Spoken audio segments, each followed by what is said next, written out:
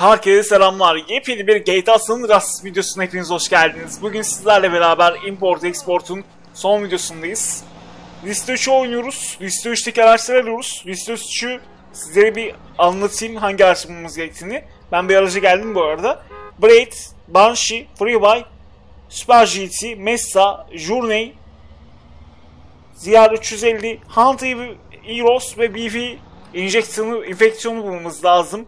Bir aracımız buralarda bir yerlerde. Bunu biliyorum. Buralarda bir yerlerde Banshee'yi bulmamız lazım. Banshee hemen burada çıktı. Banshee değil mi bu? Hemen bakalım. Aynen Banshee. Banshee bulacağınız yerde hemen burası. Garcia bölgesinde bu ne? Burası neresi bilmiyorum da hamburgercinin hemen yanında bir dükkan var. Arkada da bir sandviççi var. Sandviç arabası var. Orada bulabiliyorsunuz. Gelin sizlerle beraber hemen kısa bir yolculuk yapalım. Yakın olduğu için bu yolculuğu hemen yapacağız ve bir sonraki araba için aramaya devam edeceğim. Bölgeleri size göstereceğim. Eğer oynuyorsanız bunları yapmanız lazım. Çünkü bu listeyi tamamlamadan oyunu bitiremiyorsunuz %100. Tabii ben %100 bitiremiyorum burada. Çünkü bu seride patlaklık var ve ben de yine aynısının yaşanacağını tahmin ettiğim için bu remake ya da remake serisi var ya o GTA trilojide bunu yapmak istiyorum. %100 olayını orada yapmak istiyorum. Yapabiliyorsam eğer orada yapmak istiyorum. Burada olmuyor. Maalesef çabaladık çabaladık aylarca yıllarca ama bir hatayla patladık gittik maalesef. O da şeyde oldu. Bu fotoğraf çekiyorsunuz ya. Onda oldu. Yoksa çok güzel gidiyorduk ya. Her şey gayet iyiydi. Bir tanesini bulamayınca bir olmuyor.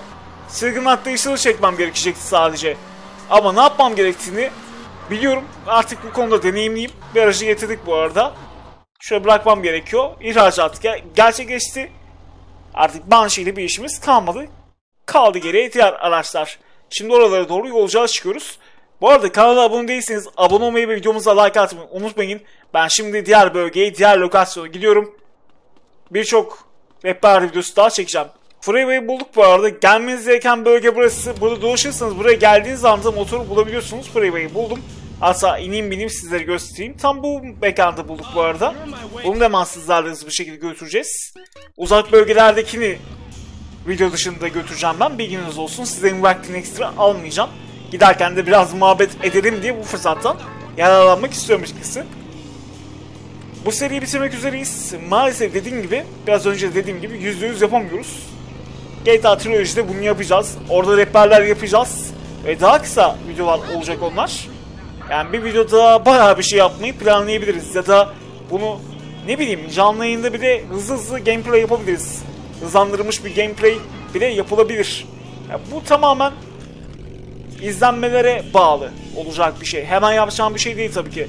GTA San Andreas'ı bitirdikten sonra uzun bir süre e, büyük ihtimal girmeyebilirim böyle bu oyuna. Yani biraz bir yıl, iki yıl büyük ihtimal girmeyebilirim. Diğer oyunlardan devam edebilirim. GTA 5'te kesinlikle planlarım var ama GTA San Andreas'ı bayağı bir oynadım ve hiç soğutmadan başladığım için de biraz oyundan sıkılıyor gibiyim yani. Hep aynı şeyleri oynuyorum, farklı bir değişen bir şey yok. O yüzden ufak bir ara verebiliriz buna. GTA San Andreas'a. Belki multi oyunlarına bakabiliriz. Meta ya da Siamp. Bunlara bakabiliriz gençler. Devam edeceğim ben konuşmaya. Diğer bölgeye gideyim ben. Diğer aracın olduğu bölgeye gideyim. Devam edeceğiz konuşmaya. Pekala bir sonraki bölgeye geldik. Burada Super GT'yi bulabiliyorsunuz hemen.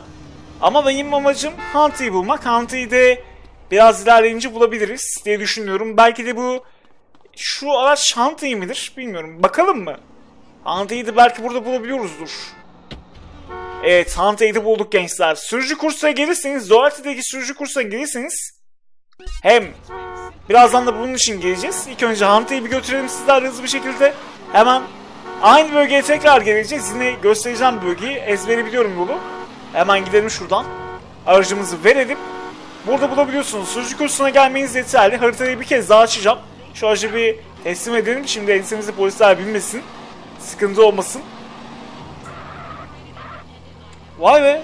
Dakikasını bulacağımı düşünmüyorum. Ben sadece Super GT'yi orada bulacağımızı biliyordum. Çünkü o dersleri, kursu başarıyla bitirdiğinizde Super GT orada duruyordu. Bunu biliyordum ama Hunter'ın orada bulunabileceğini hiç bilmiyordum. Bunu da öğrenmiş oluyoruz. Eğer merak ettiğiniz şeyler varsa da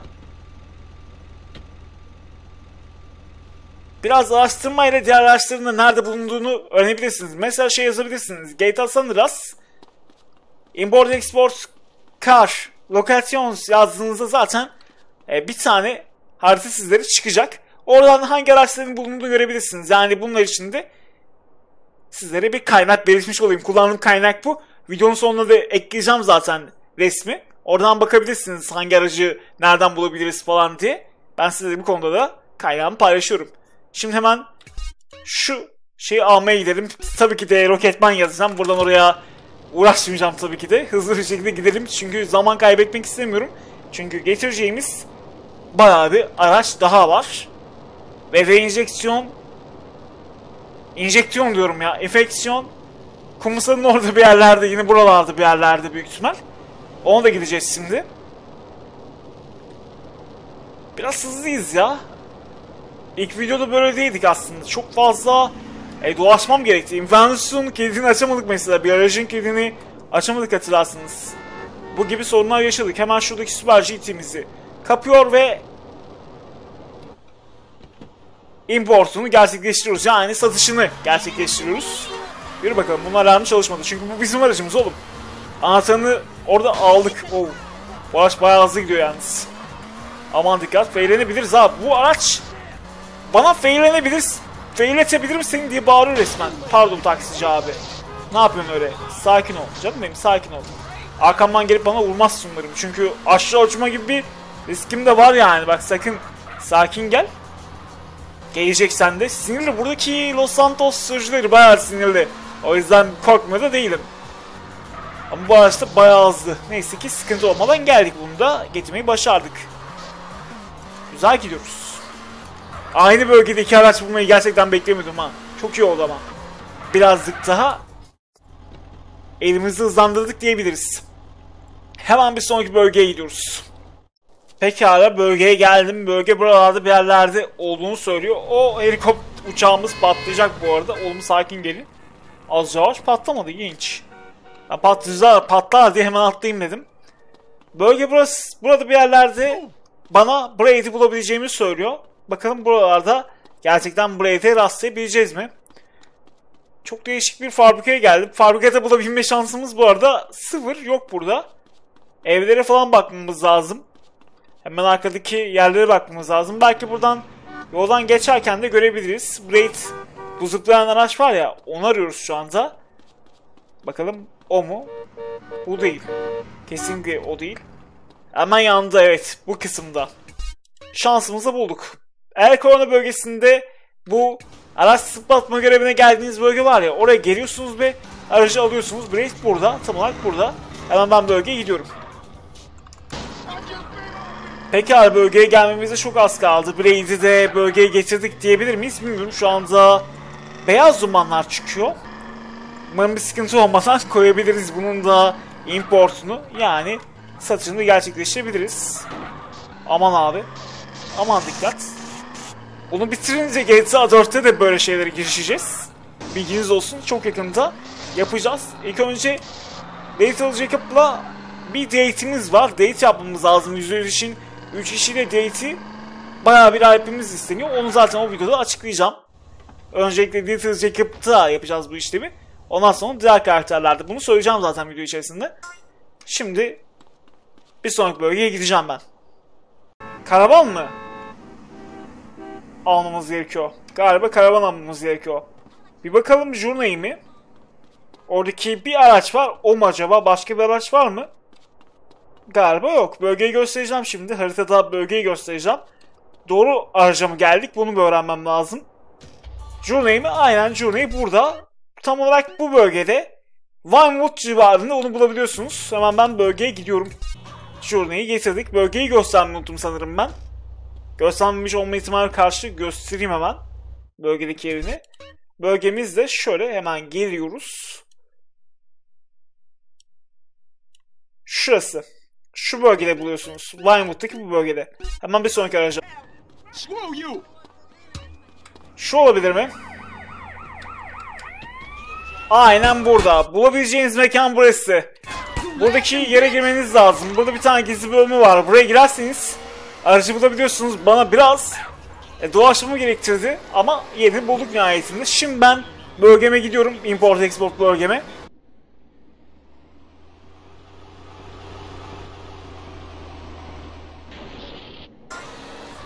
Yalnız büyük bir risk aldık ama önemli değil. En azından bir şekilde buraya gelmeyi başardık. Biraz risk aldık ama nihayetinde oradan atlamayı başardım. Eurostar bölgemize getirdik. Şimdi Ziyer 350 için gireceğim. O bölgede ben bu aracı ararken birkaç kez görmüştüm. O bölgede park halinde nerede spam olduğunu göstereceğim sizlere.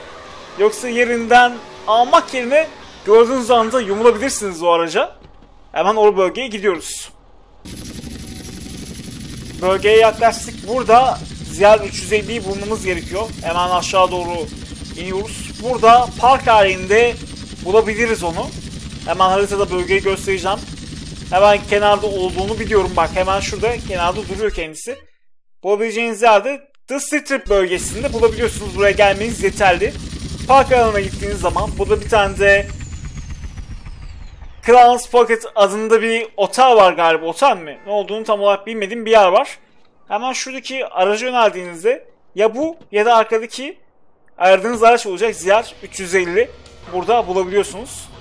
Hemen ben bölgeye gidiyorum. Vaktiniz fazla almayayım. Ve bölgeye geldik. Hemen teslim ediyoruz. Ziyar 350'yi de getirdik gençler. Şimdi Mesa'ya gideceğiz. Mesa'nın bölgesini de şöyle göstereyim. Bölgeye geldik. Buraya çıkınca, bu yokuş çıkınca Mesa'yı bulabileceğimizi düşünüyorum. Birader yoldan çekilirsem Mesa'ya doğru gidiyorum. Son bir aracımız kaldı. O da BF Injection alanındaki araç. Şuraya geçiyoruz. Hemen karşımızda görüyorsunuz Mesa. Hemen yanında da Sanchez var. Sanchez'i almak için de buraya gelebilirsiniz eğer liste 1'deyseniz. Hemen bölgeyi gösteriyorum. Ve son bölgesinde şu değişik şeklin kayanın ya da dağın oğlu kısmından aşağı inerseniz burada bir tane küçük bir bölge var. Burada bulabiliyorsunuz. Tamam ben bölgeme gidiyorum. Import, exportlayacağımız sadece BF injeksiyon aracımız kalıyor.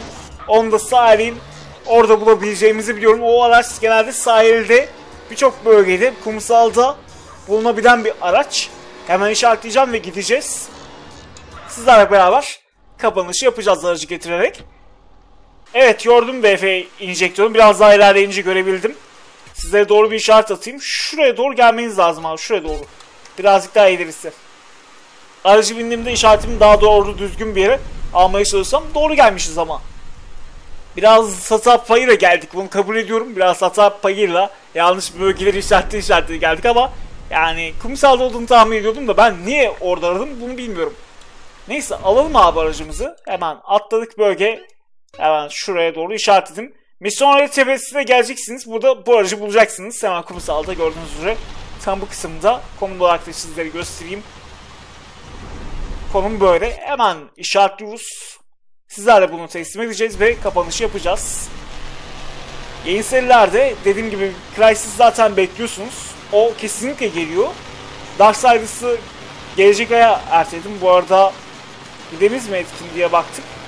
Yok pidemiz falan etkin değil de bu ne salak araçtan. Gitmiyor orada anasını satayım. Aracımızı aldık gidiyoruz sizlerle. Bu seri bittikten sonra yani GTA San Andreas import export videosundan sonra veya öncesinde siz büyük ihtimal ilk önce finali izleyeceksiniz. Hikaye finali ardından da kazanı soygunu izleyeceksiniz. Tam bahsi olur mu onu bilmiyorum ama izleyeceksiniz. Bonus adıyla yayında olacak. Polise biraz zarar verdik bu arada. Ama yine de bir şey yapmıyor. Aa benim yapacağım bir şey yok. Görüyorsun yani. BF enjeksiyon böyle bir araç. Şuradan ben hemen teslimelerden bir kaçayım. Kendime yollar çizeyim. Bu araç cidden sakat bir araç. Takla atma potansiyeli var. Umarım feylenmeyiz çünkü geldik. Çok bir şeyimiz kalmadı. GTA San Andreas finallerinden sonra 3 tane video geliyor. Bununla beraber 3 video geliyor. Ardından da 1 ya da 2 gün sonra ya da ertesi gününde Crysis'ten bölümler geliyor olabilir. Veya araya farklı bir seri koyduysam ondan sonra da bölüm geliyor olabilir. Crysis'e başlıyor olabiliriz. Orijinal Crysis'e başlayacağız. Dead Space'de bitireceğiz zaten onda sıkıntı yok.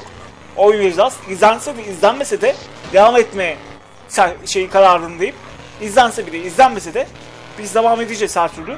Oynayacağız, deneyimleyeceğiz. Ardından da remake'ine kavuştuğumuzda da bir değerlendirme yapacağız. O öyle miydi böyle miydi tarzı bir video gelecek. Yani karşılaştırma videosu gelecek. O seviyede yapıp bitirdikten sonra. Tüm arabalar alındı. Şuraya doğru bir uçak inelim abi. Bir bakalım. Başka bir şey gelmiş mi? Ne olmuş? Ne bitmiş? Hemen bir bakalım. Evet liste tamamlanmış. Gördüğünüz üzere gayet güzel paralarda kazandık. Şimdi ben sevrimeye gidiyorum. Yeni serilerde, devam eden serilerde görüşmek üzere. Kendinize çok iyi bakın. Jaeger'da sürprizler hazırlanıyor. Bilginiz olsun. Yeni sürprizlerim olacak. Rehber videolarına devam edeceğiz. Bu tarz rehber videolar için de kanala abone olabilirsiniz. Online oyunlara dair taktikler de vermeye başlayacağız. Yakın zamanda Genshin belki olabilir. Veya Elder Scrolls'ta belki bir şey yapabiliriz bilmiyorum. Ona bakacağız. Kendinize çok iyi bakın. Kanala abone değilseniz abone olmayı unutmayın. Hoşçakalın.